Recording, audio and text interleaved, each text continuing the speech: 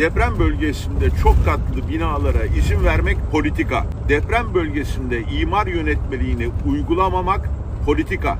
Deprem bölgesinde Türk Silahlı Kuvvetleri'nin acil müdahale planı olan Emasya'yı yürürlükten kaldırmak politika.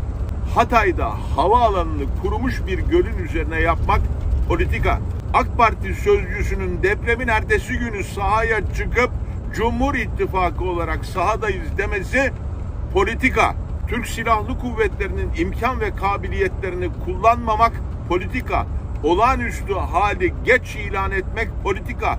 Borsayı geç kapatmak politika. Biz bunları eleştirince politika yapmayın diye bizi azarlamak da politika. Canınız cehenneme. Deprem öldürmedi. Sizin kötü politikalarınız öldürdü ve biz politikalarınızı politikayla eleştiriyoruz.